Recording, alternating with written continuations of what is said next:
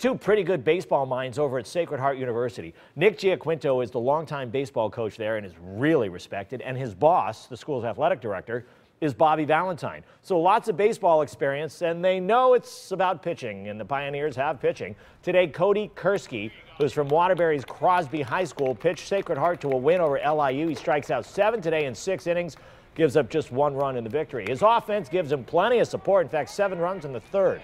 Victor Sorrento here with the single. That scores Connor McAvoy.